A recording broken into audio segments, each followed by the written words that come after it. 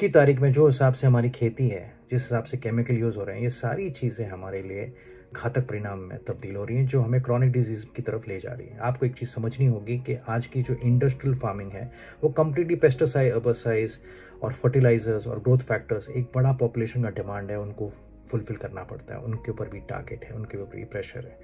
आपको ये समझना होगा कि जो हमारी फैक्ट्री फ़ार्मिंग जो हिसाब से आज पशु पक्षी हैं, जो हिसाब से उनको अनाज दिया जा रहा है, जो हिसाब से उनको खान पान दिया जा रहा है, उनको खाना है घास, जैसे काऊ को गाय को खाना है घास और उनको दे रहे हैं हम लोग कौन और ये सारी चीज़ें क्या करने वाला है, ये इनको कम्प्लीटली एक डिफरेंट फ़ूड में तब्दील हो जाता है और ये सारी चीज़ें हमारे लिए काफ़ी घातक परिणाम में तब्दील हो जाती है। तो आप एक केस स्टडी बताता हूँ आपके साथ, मैं शेयर करना पसंद करूँगा कि अमेरिकन के एक्सपर्ट्स थे डॉक्टर्स ये स्टडी कर रहे थे कि काफ़ी क्रिमिनल इतने वॉयलेंट क्यों होते हैं? इनमें क्या प्रॉब्लम है एग्जैक्टली तो उन्होंने पाया कि इनके जो खान पान था, जैसे शुगर काब्स और ओमेगा सिक्स का ज़्यादा सेवन करते हैं तो इसलिए इनका बिहेवियर सुसाइडल और क्रिमिनल और इतना वॉयलेंट होता है।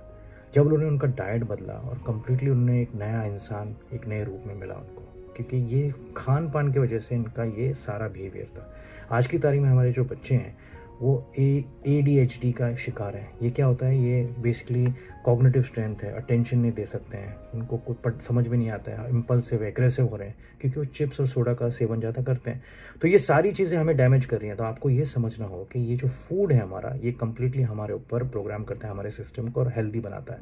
तो आज की तारीख में हमें ओमेगा सिक्स की जगह पे ओमेगा थ्री चाहिए, हमें ग्लूथोथायन चाहिए, हमें प्रोबायोटिक चाहिए गट हेल्थ के लिए।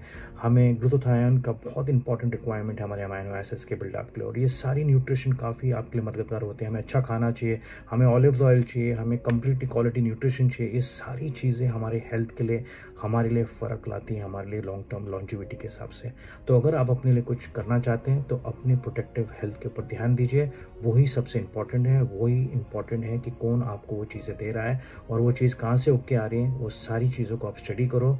वही जब भी वही चीज़ आपको लगती कि शुद्ध है प्योर है, जब भी उनका सेवन करो। वही आपके लिए बेहतर है।